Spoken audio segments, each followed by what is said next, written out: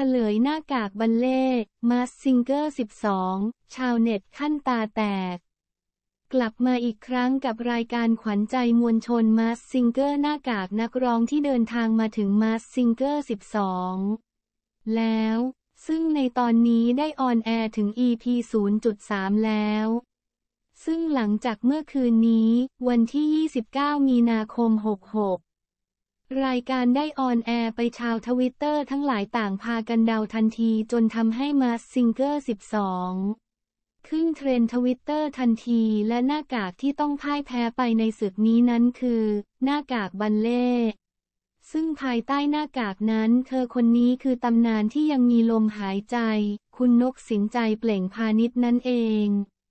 โดยนก สินจัยนั้นหยิบเพลงวัยรุ่นจังหวะกลางกลางอย่างเพลงจมของลุลามาร้อง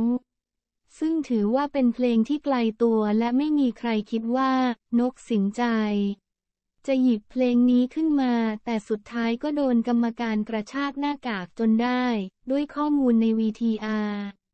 และเสียงอันเป็นเอกลักษณ์ ซึ่งเจ้าตัวได้โพสต์ข้อความผ่านอินสตาแกรมระบุว่า ถอดหน้ากากครับ ขอบคุณมากมายค่ะ ที่ให้โอกาสได้เป็นหน้ากากบัลเล่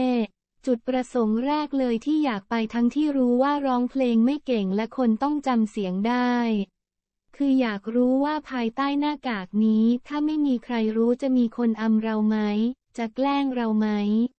จะพูดอะไรที่ไม่ต้องเกรงใจเราไหม เพราะชีวิตจริงไม่ค่อยมีใครกล้าคุยด้วย